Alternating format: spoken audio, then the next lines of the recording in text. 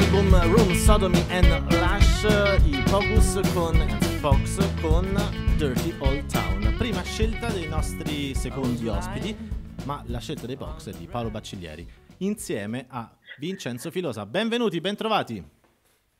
Ciao, Ciao. Ciao. Paolo, come mai hai scelto questo brano? E chi lo sa? Eh, no. eh, perché ascolto spesso. Ok. E non credo che abbia molto a che fare con la storia che abbiamo fatto del Joker, ma chissà, chissà. chissà. Che però appunto possiamo iniziare proprio da qui, cioè il, il progetto è assolutamente poggiato sulla sorpresa, sul, sul chissà proprio, perché eh, Joker Strategia della Tensione è un albo Panini, anzi una pubblicazione Panini all'interno di un progetto più largo che iniziava anni fa con Batman Il Mondo, ma adesso ha anche la sua dimensione, anzi la sua versione, anzi proprio il parere del Joker, perché, come per la precedente pubblicazione, si portano i personaggi canonici della, mm, del, della casa editrice di Batman eh, in giro per non il mondo, ma per, eh, il, nelle mani di altri autori, altre matite, altre, eh, altre, penne e si danno a loro la libertà. Mi direte, anzi, eh, proprio questa è la prima domanda, la libertà totale di ehm, trasformare oppure trasportare questo, questo personaggio, Joker appunto, nella propria storia. Come, Paolo, come è iniziata? Come avete preso la, questa sfida? Come avete appunto approcciato al progetto? Allora, la colpa, il merito, la colpa eh, di questo crimine o di questa, o di questa bella avventura è della Panini Italia, mm-hmm. il piccolo team Panini che ha scelto me e ha scelto Enrico Brizzi che è il, il terzo mm, autore di questa storia, mm-hmm. oggi non c'è ma è qui diciamo in spirito, ehm, ha scelto noi per fare questo Joker italiano. Mm-hmm. Quindi ho incontrato Brizzi, eh, che, che conoscevo solo perché è l'autore di Jack Frusciante uscito dal gruppo, come, come tutti quelli eh, anche più giovani di me sanno. E, mh, mm, ho conosciuto Brizzi, ho scoperto che è un, un appassionato e anche mh, direi esperto, ehm, uh, lettore di fumetti, anche autore di fumetti è stato. Uh, non è il primo fumetto che scrive. E e quindi, che dire, ci siamo, ci siamo messi all'opera. E poi si è, si è aggiunto un colorista, un, un complice abituale delle mie malefatte, che è Vincenzo. Mm-hmm. Diamo qualche elemento per chi non, non, ha letto o comunque non si è ancora avvicinato a questo gioco, strategia della tensione, praticamente senza dire troppo perché in effetti poi rischiamo di rovinare la lettura che è eh, insomma molto agile, molto concentrata e, e molto ritmata. Ehm, Joker si trova a Bologna.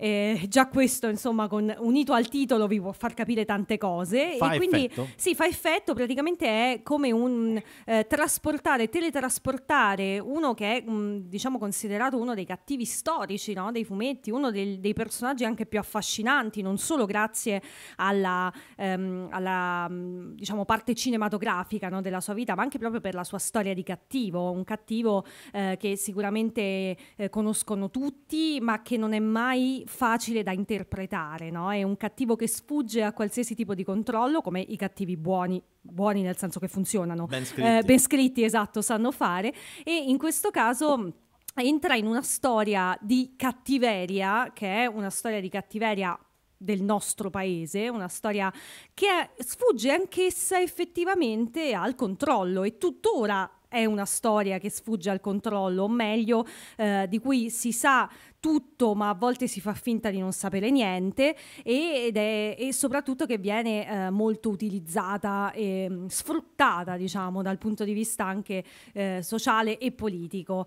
Mm, com'è stato eh, affrontare questa storia? Che tipo di eh, anche mm, tocco personale avete scelto di dare a, a, questo albo. Tra l'altro nessuno dei due interlocutori al telefono è di Bologna. Okay. Paolo forse anagraficamente era vicino perché è nato a Verona, però Vincenzo è un po' più, più lontano anche nel tempo. Come, che, che cosa c'è di vostro esatto. nel, nel, in questo racconto? Iniziamo da, da Vincenzo.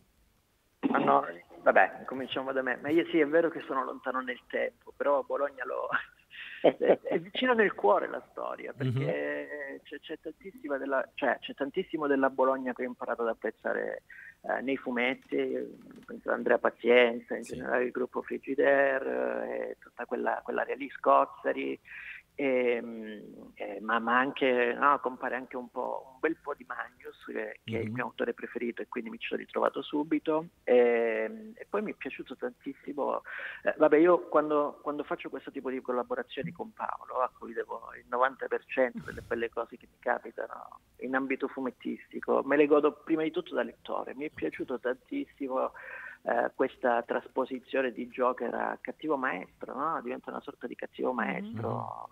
Mm-hmm. Eh, in quegli anni ce ne sono stati tanti, ma questo mi è sembrato mm, perfetto, sia per la, per la facilità con cui si è, si è, ambientato nella Bologna di quegli anni, almeno per come l'ho conosciuta io, eh, come ho imparato mm-hmm. a conoscerla io tra libri, eh, musica, fumetti, e, ehm, e, sia perché è la dimostrazione che Joker è un personaggio con cui veramente si possa, si possa fare tutto. Io poi mi ci sono appro- approcciato in maniera facilissima, nel senso il mio era il compito del colorista, il compito meno infame in questo caso, no? eh, per due motivi. Primo perché devo solamente colorare e non devo reinterpretare il personaggio in maniera no? eh, azzardata, se non limitarmi al colore, e poi perché... Um, e poi perché colorare le tavole di Paolo è, facilissimo, no? cioè nel senso sono così belle, così piene di dettagli che ci si diverte sempre. L'unica cosa che ho dovuto fare è, eh, ma come faccio sempre con i suoi lavori eh, da colorare, stare molto attento a lasciare che sia sempre prima il tratto a mhm. parlare. Mm-hmm. Eh, questo per me è facilissimo, tutto, tutto, tutto, tutta gioia e felicità per me. Beh, facilissimo perché lo sai fare, nel senso che poi insomma, no. il lavoro del colorista in realtà è, è una cosa decisamente complessa, forse Paolo, Paolo, ce lo può anche confermare no? rispetto a, alla commistione e al legame con il suo di lavoro. Paolo? Assolutamente, eh, tanto uh, c'è da dire che questo Joker è stato effettivamente eh, ha ragione Vincenzo, è stato facilissimo da fare, nel senso che abbiamo preso questo personaggio che oltre a essere, come dicevi tu, difficilmente inquadrabile, ha anche il vantaggio di essere malleabile, di mm-hmm. essere mh, trasformabile. Ecco, e, e, mh, l'abbiamo preso e l'abbiamo portato in casa nostra, mm. quindi abbiamo giocato in casa, ecco, sia io che Brizzi che Vincenzo e, ehm, e quindi non è, stato, non è, stato, difficile per noi eh, come lavoro, è stato mh, mm, assolutamente appunto giocare in casa. E, e spesso um, è stato citato giustamente a proposito di Bologna, che tra l'altro è la città dove ho studiato all'Accademia di Belle Arti, uh-huh. è stato citato Andrea Pazienza giustamente, uh-huh. ma eh, Vincenzo anche qui ha ragione dicendo che forse la presenza più, dal punto di vista fumettistico, la presenza bolognese più importante nella nostra storia è quella di Magnus. E c'è anche un personaggio che ricorda molto da vicino sì. lo sconosciuto di Magnus nella nostra storiella, ma soprattutto c'è, come eh, spesso faceva Magnus, la volontà di usare la nostra storia recente, ehm, storia recente che sfocia nell'attualità eh, ehm, in senso eh, drammatico, ecco, usarla come eh, benzina, come mh, mm, propulsore per raccontare una storiella e, e di fiction mm. ovviamente.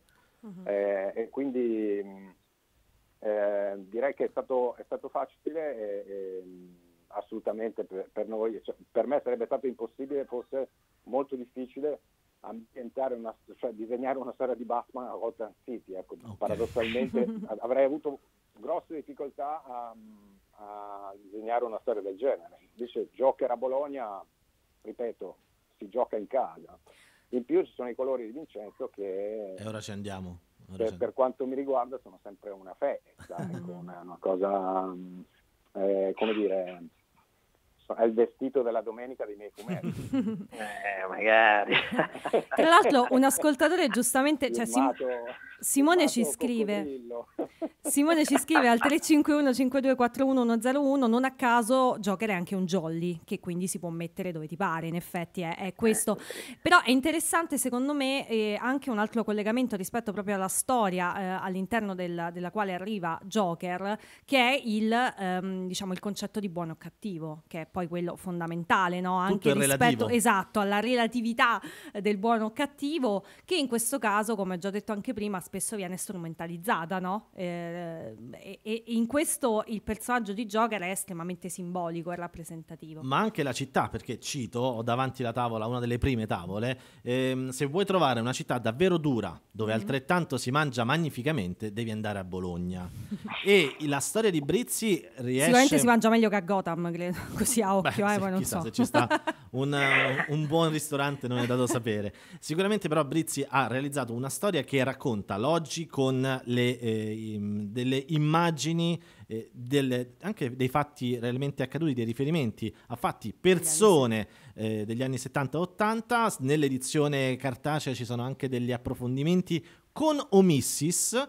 Ma la cosa più interessante eh, è appunto questo, eh, questo inserire in una Bologna molto presente nella memoria eh, di chi legge, di chi disegna, di chi scrive, di, colo- e di chi colora, questo, tra virgolette, grande vecchio che è il Joker, che tra l'altro ha le fattezze e anche le movenze di un mio professore delle, dell'università. Salutiamo il professor Menduni, così. un pochino, un pochino. Il, eh, il tutto appunto con un tratto e anche con un gioco di memoria molto, molto complicato. Quindi, appunto, Paolo ha fatto la scuola, da, eh, l'accademia sì. a Bologna e poi, appunto, come diceva prima, il, il vestito della festa, ma io direi anche la, la, pasta del, di LSD l'ha data filosa perché, appunto, questi anche nella edizione cartacea c'è cioè sia la versione bianco e nero che eh, quella a colori ma sono anche invogliano eh, queste due versioni accostate invogliano la lettura doppia. Ma Quindi... qual è stata invece la cosa più difficile? Visto che adesso sembra tutto facile, no? Non, non credo che sia stato tutto facile. Eh, parlo no, io. Non è stato tutto facile. Eh, rispondi Vincenzo? Rispondi no, fai tu, fai tu Paolo, vai, vai, vai, scusami. Eh, ma perché dall'altra parte dell'oceano c'era questa per me presenza astratta, ecco, con cui non ho avuto nessun mm-hmm. collegamento diretto. Okay. Ehm, all'inizio del lavoro eh, la chiamavo la DC, giustamente, alla fine la chiamavo la DC.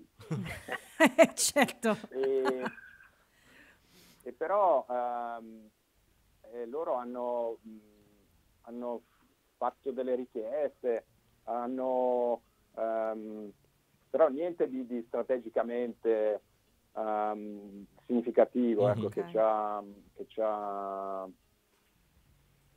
come dire, che ci ha impedito di raccontare la nostra storia in maniera come, come volevamo fare. Ecco. Uh-huh. Quindi, ripeto, difficoltà vere non, non, me ne vengono in mente. Okay, proprio. Okay. E, e, e invece a proposito di... che ho fatto, sì, sì, sì, vai, vai. Eh, grazie sempre a internet di esistere, è quella di documentarmi molto attentamente. Mm-hmm. Ecco. Di solito quando faccio questo tipo di storie che hanno un contesto storico, appunto, ehm, ho bisogno di un sacco di immagini e ne uso in realtà una minima parte.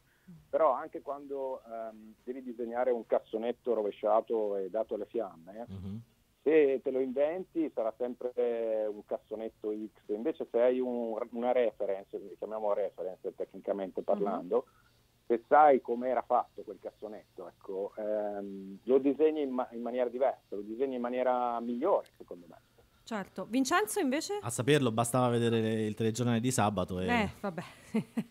Vincenzo, dici... Ecco, un'altra cosa che volevo dire è che questa storia è ambientata appunto alla fine degli anni 70, ma eh, effettivamente mentre disegnavo questa storia di studenti che si scontravano con la polizia, negli Stati Uniti stava succedendo esattamente la stessa cosa, su una scala forse anche maggiore. Certo, certo. Vincenzo. Torniamo sui colori. Cioè, loro dicono che è una storia facile, secondo me, cioè che, che, che non hanno avuto difficoltà, ma era una storia dal coefficiente di difficoltà altissimo. Cioè, e non è che capita tutti i giorni di prendere un personaggio così popolare e farci una storia che, che è anche un commento sociale no? mm-hmm. sul contemporaneo, anche su quello che è successo tanti anni fa in Italia. E, ehm, io naturalmente me, me, la sono, me, la sono, vissuta vari, nelle varie fasi di lavorazione ho detto ma come fanno a fare sta roba? E invece ci sono riusciti alla grandissima. E io ho detto che, che problema c'è per me per colorare delle tavole così belle? Nessuno, cioè anzi non devo, no veramente, l'unica difficoltà è sempre quella di non mettere il colore sopra, sopra il bianco e nero di Paolo. Eh? Quella è la difficoltà. E poi una cosa che ci siamo detti da subito e che ha facilitato tantissimo il mio lavoro sono stati quei, quei punti di riferimento sulla colorazione, cioè non so se avete notato c'è tanto retino, mm-hmm. no? che richiama proprio la colorazione di quegli anni. Uh, sì, in una veste un po' più libera, ecco, perché non è che proprio ci siamo andati a recuperare le dinamiche eh, di colorazione di quegli anni lì, però il retino ci ha, ci ha aiutato tantissimo e, e si, si, sposa benissimo con, con, il lavoro di Paolo, no? che lo usa tantissimo anche nel suo, nelle sue tavole in bianco e nero e poi eh, mi ha aiutato a, ad attenuare anche quei, quei, momenti di colore più forte, di modo che le, le tavole di Paolo potessero sempre brillare nel loro bianco e nero questa è stata la difficoltà. Sì, Poi sì, eh, su, sulla documentazione dico, to, cioè, ribadisco tutto quello che ha detto Paolo perché poi alla fine è stato soprattutto lui a darmi le referenze per, per, mantenere alcune, alcune, cose fedeli. Ecco, mi pare che abbiamo avuto Paolo la difficoltà sull'arancione, su quell'arancione delle, eh, dei... Eh, sull'arancione delle pareti delle uh-huh. strade di Bologna, degli, eh sì. no? quelle cose lì, però poi ce la siamo cavata. A me piace tantissimo. Quel mattonato bolognese. Mattonato. È proprio lui, sia di giorno che di notte, sia con gli scontri eh. che con, eh, dentro l'università. È veramente molto Quelle... interessante, è veramente molto interessante questo progetto. Le, abbiamo, stiamo parlando di giochi e strategia della tensione, lo trovate sia eh, in versione deluxe, eh, edito autonomamente sia all'interno del volume Il Mondo, tutto pubblicato da Panini. Per quanto riguarda le reference, Vincenzo Filosa eh, ha usato la sua scelta musicale come ipertesto, perché ehm, se i Pogues erano la scelta di Paolo, Vincenzo Filosa ha portato gli Schiantos, che sono proprio probabilmente la colonna sonora perfetta o il gruppo preferito, la scoperta che Joker porta a Gotham City. Immaginiamo. Joker ascolta gli schianto, sì, sono abbastanza Beh. convinta di questo. Oh, come mai hai scelto, vabbè, lo, a parte diciamo le, le cose evidenti, come, come, mai hai scelto proprio loro?